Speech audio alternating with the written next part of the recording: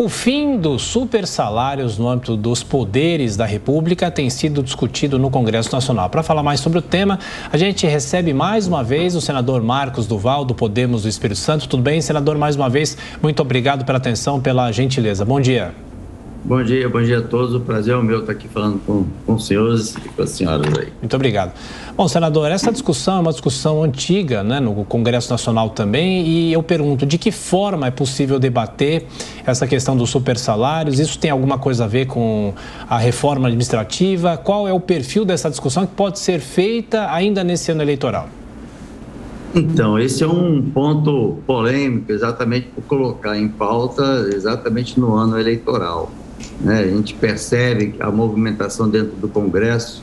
Eu que estou chegando, cheguei agora há três anos como, como político, a gente percebe que tem alguns movimentos que não é de interesse da sociedade, mas sim o ganho político no, durante o ano eleitoral, ainda mais para presidente da República, governadores e, e a Câmara dos Deputados, enfim.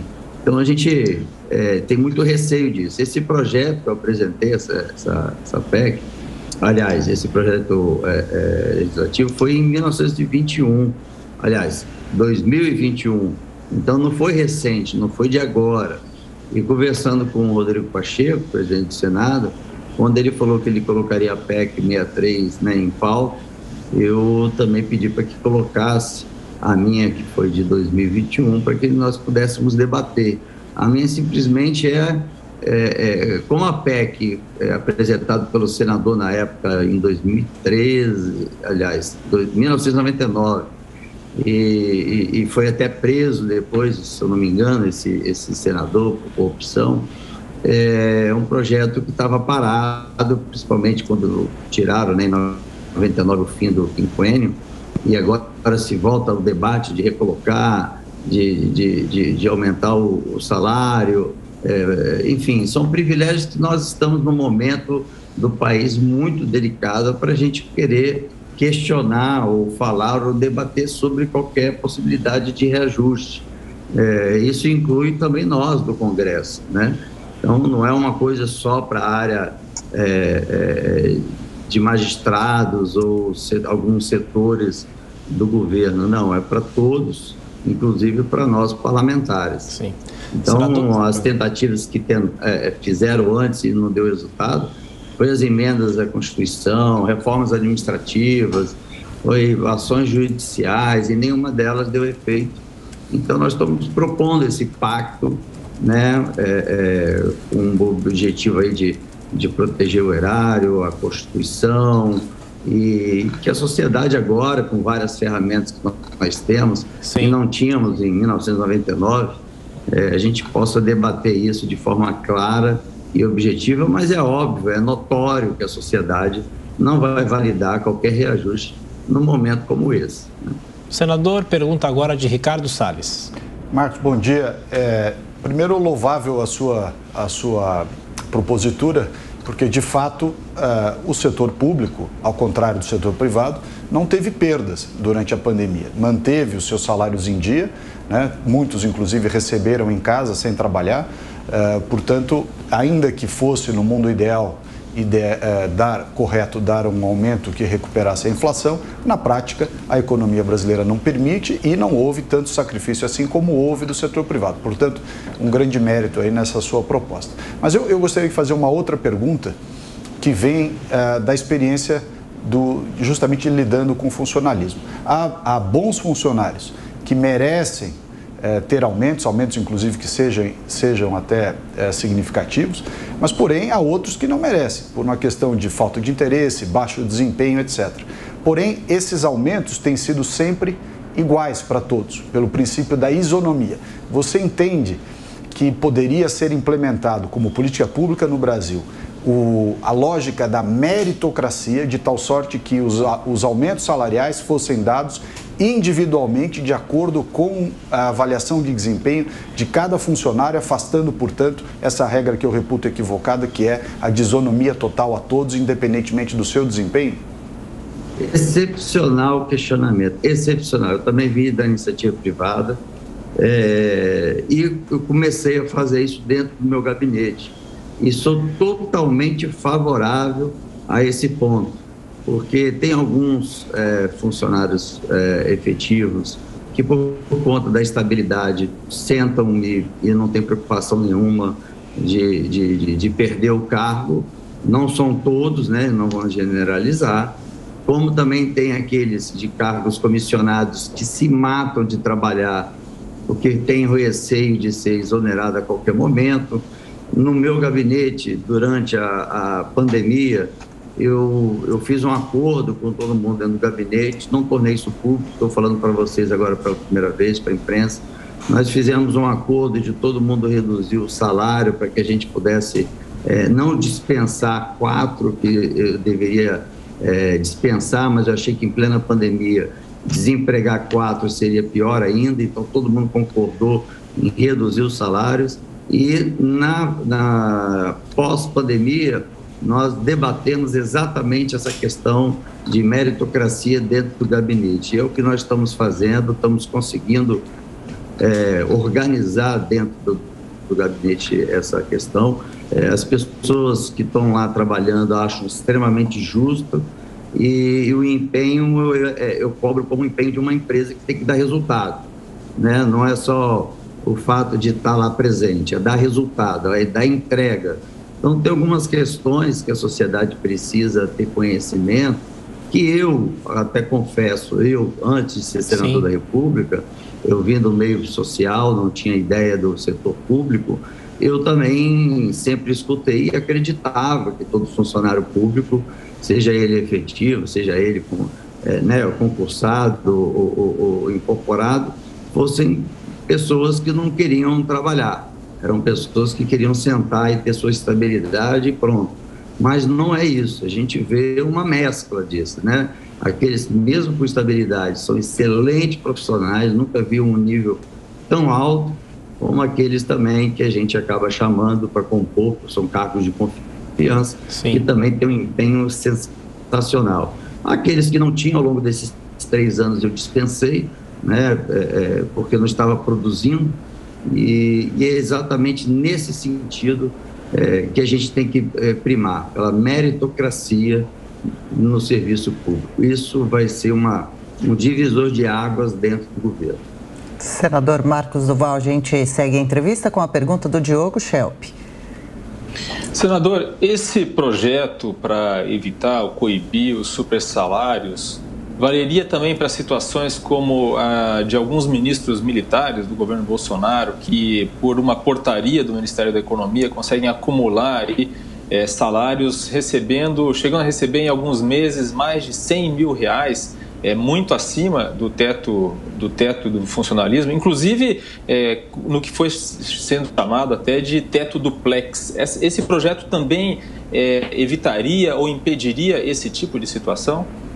É, ele está abrangendo todos, né? Todos da é, todos os setores públicos. E, e, e, é um projeto que a gente está propondo, né? Esse pacto social. Falo, ah, pacto social parece uma coisa meio abstrata, né, que ninguém vai se empenhar, mas eu acho que nós temos que aproveitar o momento que o Brasil passa e por questões também de eleições. Eu acho que hoje qualquer parlamentar que se mover a favor de aumento de salário, ele vai realmente dar literalmente um tiro no pé, mas pega todos os setores é, para se para cada setor também fazer a sua fiscalização, a sua economia, para que a sociedade precisa é, ter essa confiança no, no, no, nesse ambiente político. Mas é muito, muito importante também esclarecer, é, é claro que tem esses super salários que destoam né, de muitos, né, que tem muita capacidade, mas eu de coração, abrindo aqui a, a, a minha sinceridade, que pode gerar até um sincericídio, mas eu acho que ministros, é, como o nosso querido está aí hoje como comentarista, presidente da República, são cargos é, de extrema responsabilidade que no setor privado estariam ganhando muito mais do que isso. Então a família é prejudicada, você entra com, com aquela ideologia de realmente contribuir. Não acredito né, que, que os ministros e o presidente, o atual presidente, entrem com a intenção de, de, de, de se corromper para tirar vantagem. Eu acho que isso é um passado que não está cabendo mais novos integrantes também do, do, do, setor político entrar com essa visão de, de tirar vantagens e se enriquecer. Eu acho que hoje existem várias ferramentas que fiscalizam isso. Então, tem entrado um, um número expressivo de idealistas, assim eu me enquadro, mas a gente não avaliar, que a gente veio da iniciativa privada, a gente vê que realmente assim, tem, tem valores, como o do presidente da República, que eu acho um valor é, é, é é simbólico, muita gente questiona, né? Ah, tem. O Senado tem. Isso é uma coisa que é, é, é, é quase toda a sociedade brasileira é, acha como verdade que o Senado tem vários privilégios, tem aposentadoria especial, plano de saúde especial, e eu tenho sempre desfeito essa, essa visão, porque isso não existe mais há mais de 15 anos. Né? Antigamente, você fazia oito anos de mandato, e se, e se aposentava com salário integral. Você tinha um plano de saúde também integral vitalício. Hoje não é mais assim, hoje é Senador. é particular. Você pode optar em continuar no seu plano é, de saúde ou no seu, a sua previdência privada. Eu continuo pagando o INSS.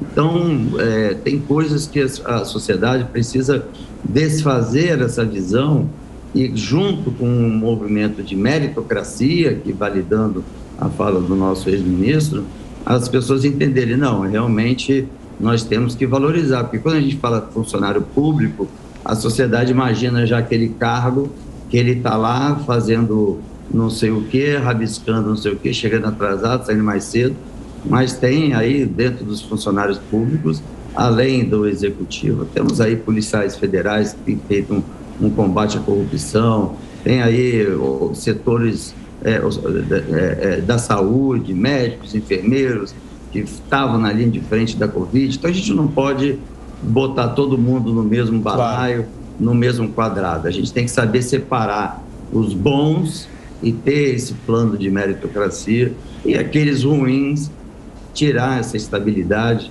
que realmente para alguns prejudica bastante. Senador, nosso tempo infelizmente está terminando, ainda espaço para a pergunta de Cristina Grêmio. Rapidamente, Cristina, por favor. Senador, bom dia. Eu queria saber como é que está a pressão, especialmente do Judiciário e do Ministério Público, sobre os senadores. A gente sabe que na Câmara esse assunto levou quatro anos se arrastando justamente por causa desse corporativismo, especialmente das cortes superiores, que se beneficiam de auxílio moradia, de é, é, ressarcimento de plano de saúde, todos esses benefícios, esses penduricalhos que ficam fora da somatória ao salário para contagem e ultrapassam o teto de gasto mensalmente, não é esporadicamente, como um ou outro ministro militar aí, como foi dito pelo Diogo. Como é que está a pressão no Senado, onde esse assunto empacou? Bom, eu vou ser sincero de novo com, com os senhores. A gente tem um, um grande problema quando a gente vai legislar sobre a área de, eh, da magistratura, porque muitos, não todos, também não vou generalizar, é, quando passa, o político, quando ele passa para o executivo, ele acaba sendo denunciado pela oposição, a, a, ao Ministério Público, enfim. Então, quando ele vai é, é, exercer a função de senador, que nós teríamos então a possibilidade de até trabalhar um impeachment de um, de um ministro, ou ser mais incisivo, ou lutar, ou, ou, ou brigar mais pela, pela justiça nessa questão, tem muitos senadores, tem muitos deputados que recuam muito temerosos, porque estão respondendo processos né? Às vezes não não são culpados, mas por questões políticas, né? Aquele jogo político que usa o Ministério Público para poder atingir é, a oposição, e eles têm realmente receio de validar, de apoiar, para que então a, a, a, os juízes, seja da primeira, segunda ou terceira instância, acabam fazendo uma perseguição velada, vamos dizer assim, botando velocidade no projeto, no, no, no, algum processo que ele responde. Então, realmente, é um setor, é uma, é uma caixa de Pandora e todo mundo tem muito receio de mexer e, e, e, e se prejudicar por conta disso. Mas nós precisamos, não tem jeito. A gente precisa debater esse assunto. A sociedade já não está aguentando mais. Senador Marcos Duval, do Podemos do Espírito Santo. Obrigado mais uma vez, um bom dia de trabalho, até a próxima. Até a próxima, um abraço a todos, bom trabalho.